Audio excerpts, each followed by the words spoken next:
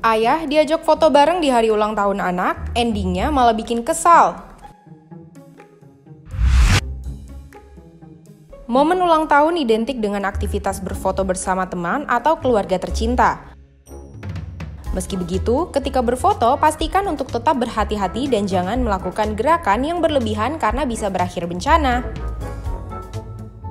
Seperti video yang diposting oleh akun Instagram @parodireceh.id, ceritanya ada sebuah keluarga kecil yang terdiri dari ayah, ibu, dan seorang anak.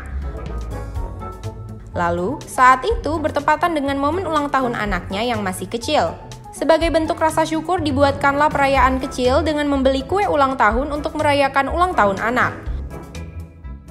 Kemudian, saat kue sudah tiba, rencananya mereka bertiga ingin berfoto bersama kue tersebut.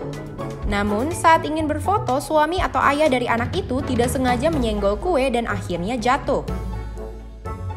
Ibu yang kaget dengan peristiwa itu memukul ayahnya sambil tertawa dan tanpa disadari sang anak yang berada di pangkuannya malah terjungkal karena sang ibu yang tertawa. Maafkan papamu nak, bunyi keterangan di video tersebut. Video momen ulang tahun yang endingnya mengesalkan ini dibanjiri komentar oleh warganet. Banyak yang merasa kasihan dengan anaknya karena mengalami peristiwa ulang tahun yang tidak menyenangkan.